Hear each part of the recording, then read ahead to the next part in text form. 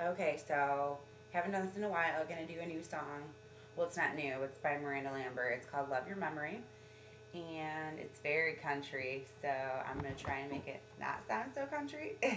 and here's Griffin, everybody. He wants to make his debut too. Hi. Okay, he'll probably jump up here a few times, but here he comes. What are you doing? What are you doing? Okay.